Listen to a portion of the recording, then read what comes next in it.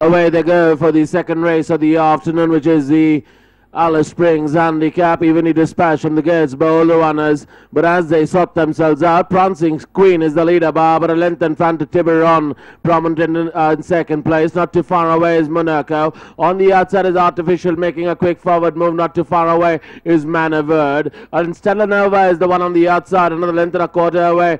There we go back to uh, Charisma. Another two lengths away. Charisma demonstrate on the outside is Blaze to Glory. A gap of three and a half lengths away. We bring. Uh, go back to Ultraviolet, bringing up the rear.